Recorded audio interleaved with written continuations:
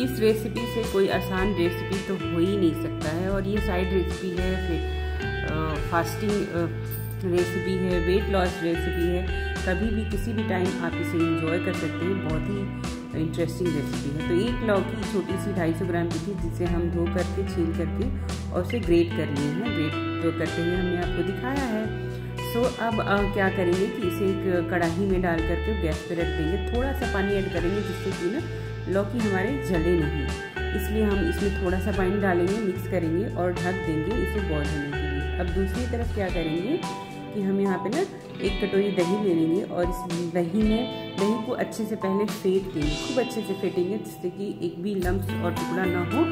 उसके बाद क्या करेंगे कि हम इसमें पानी डालेंगे। दही हमारी बहुत गाढ़ी थी और घर की बनाई हुई दही है। घर वाली दही जो होती है, वो ज़्यादा अच्छी होती है और थिक भी जमती है, क्योंकि दूध को हम लोग ना अच्छे से पकाए हुए होते हैं। इसलिए हमें पानी ऐड करना होता है और लौकी तब तक हमारा जो ना यहाँ पे पक करके तैयार हो गया था। थोड़ा ठंडा भी हो गया था, हम इसे छोड़ दिया था दस से पंद्रह मिनट ठंडा होने के लिए। और ठंडा होने के बाद क्या किए कि हम इसे फिर दही में ऐड कर दिए।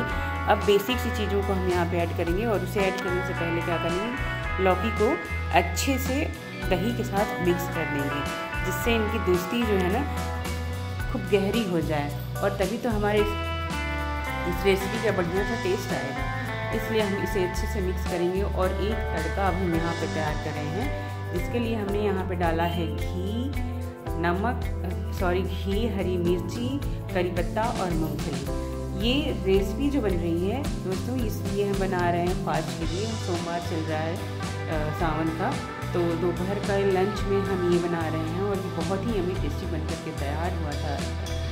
उसके बाद हम यहाँ पे डाल रहे हैं सेंधा नमक। आपको सेंधा नमक नहीं खाना है अवॉइड कर सकते हैं। और हाँ आप नॉर्मल डेज़ में बनाएँ तो करीब पर सरसों और हींग जीरा भी ऐड करें तड़के में और भी टेस्टी बनेगा। भुना जीरा पाउडर ऐड कीजिएगा।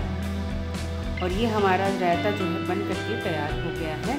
तो रेसिपी आपको पसंद आए तो ज़रूर से लाइक कीजिए शेयर कीजिए और कमेंट करना बिल्कुल भी ना भूलिएगा।